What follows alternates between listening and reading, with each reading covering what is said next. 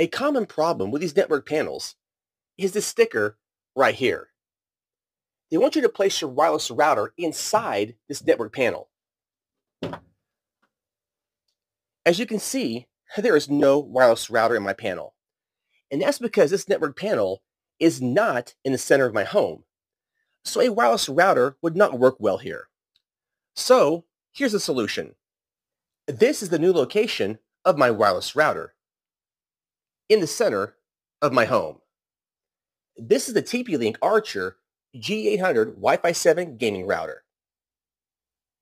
Now to achieve this configuration, you'll need two Ethernet cables going from the network panel into the room where the router is located, right here. This white cable goes up to the router into the WAN port, and that white cable goes into the panel connected to our fiber ONT. The yellow Ethernet cable goes into the LAN port on the back of the router, goes back into the wall, and goes back into the network panel.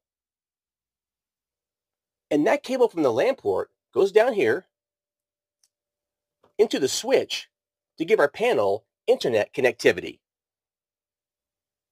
So if you have the same problem as me, this is the solution. And sometimes you got to break the rules.